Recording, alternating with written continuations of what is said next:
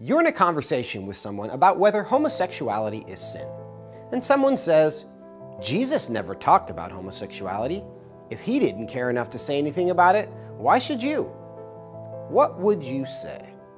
Some argue today that Christianity is not in conflict with homosexual relationships because none of the Gospels record Jesus talking specifically about homosexuality.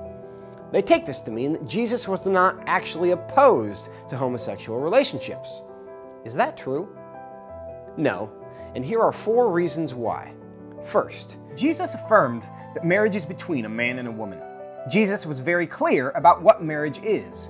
When he was asked about marriage in Matthew 19 and Mark 10, he pointed back to God's design for marriage as described in Genesis 1 and 2. Jesus reminded his audience that God made them male and female, and that the two shall become one flesh. If he wished to include same sex marriage, he would not have referred to Genesis, which clearly says marriage is between a man and a woman. Second, Jesus' words are never in conflict with the rest of the Bible. The idea that only Jesus' words in the Gospels reflect what Jesus believes misunderstands who Jesus is. Christianity is clear that Jesus is God. He said this himself. He even said that he came to fulfill and not abolish the rest of the Word of God. Even if Jesus never spoke about homosexuality during his earthly ministry, the rest of the Bible is clear about it. Third, silence does not equal consent. Even if Jesus had never said anything about homosexuality or marriage, that is not evidence that he approved of same sex relationships. If silence means approval, then we would also be asked to believe that Jesus condones bestiality and incest as well. No one believes that. Fourth, Jesus' relative silence shows his agreement with the consensus of the day.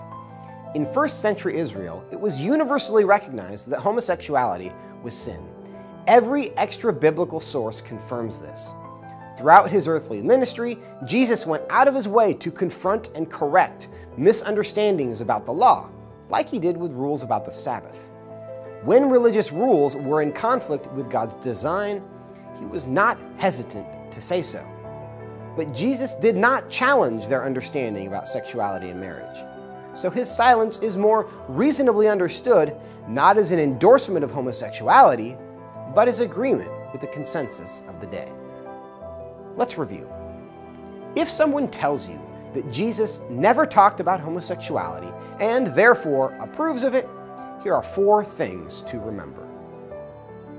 Jesus affirmed that marriage is a relationship between a man and a woman.